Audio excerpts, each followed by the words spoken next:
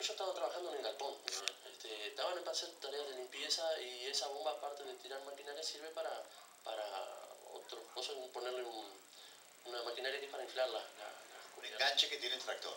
Claro, es una, una, parte con engranaje ahí que lo, lo, lo, lo agarró el nene y con el desenlace que ya te dije. Eh, está trabajando la policía y también la, la fiscal Monteiro.